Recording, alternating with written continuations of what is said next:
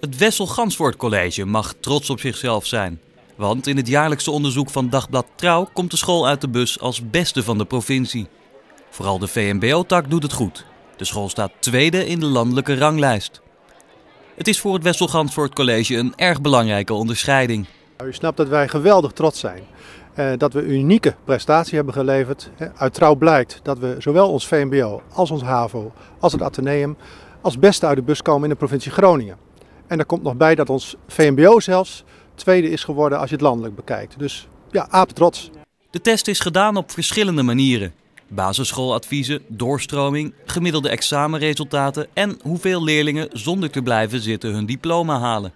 We proberen ons uiterste best te doen om leerlingen goed uh, zeg maar, te plaatsen, om zorgvuldig naar leerlingen te kijken, om te zorgen dat ze op de goede plek uh, terechtkomen. Nou, daar is een scala aan maatregelen voor nodig, dus je moet goed uh, in je rapportvergaderingen kijken hoe leerlingen terechtkomen. Je moet in de begeleiding het goed doen. En ik geloof dat we daar in ieder geval dit jaar heel goed in geslaagd zijn. De leerlingen zijn ook blij verrast met de uitslag van het onderzoek.